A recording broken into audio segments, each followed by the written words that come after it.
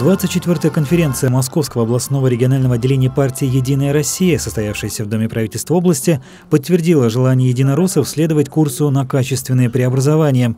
Решение о перераспределении полномочий руководящих органов партии, принятое на декабрьском съезде, потребовало провести переизбрание секретаря Политсовета и президиума подмосковного отделения партии, что и было сделано на конференции.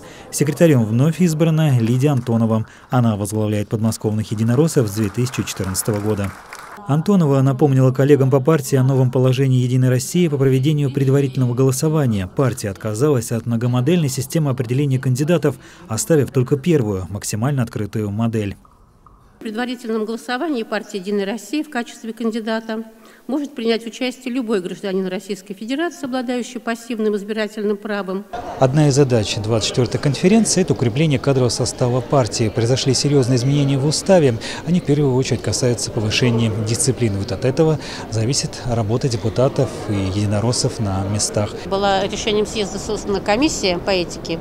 Говорит о том, что член партии – это очень ответственно. Это еще больше как бы, спроса с человека. Это а, не только там, уровень исполнения своих профессиональных э, задач, это дисциплина партии, но это очень важно вот именно свое, как бы, уровень своей личности, человеческого понимания, отношения к людям.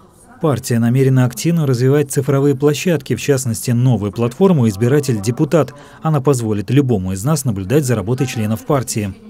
Работа дальше должна продолжаться по тем э, национальным проектам, о которых всегда э, говорил в послании и президент Владимир Путин, и в обращении наш губернатор Андрей Воробьев. Генератором э, этих всех, э, выполнения этих программ является партия «Единая Россия». В работе конференции приняла участие и делегация городского округа Щелково во главе с Алексеем Валовым. По результатам голосования глава муниципалитета был переизбран в региональный политсовет. Партия давно уже работает над тем, чтобы создавать то государство, которое будет комфортно проживающим в нем людям. Поэтому все программы муниципальные, государственные и все указания президента, согласно майских указов, мы, несомненно, поддерживаем и своим примером показываем, как их надо выполнять. Поэтому здесь собрались просто сверить вектора развития, выбрать новых должностных лиц и определить окончательно вариант развития всей нашей страны ну а в частности наша Московская область. Сейчас очень большое внимание страны партии уделяется и молодежной политике, и развитию а, молодежи и на местах, и вовлечению молодежи именно в политическую жизнь.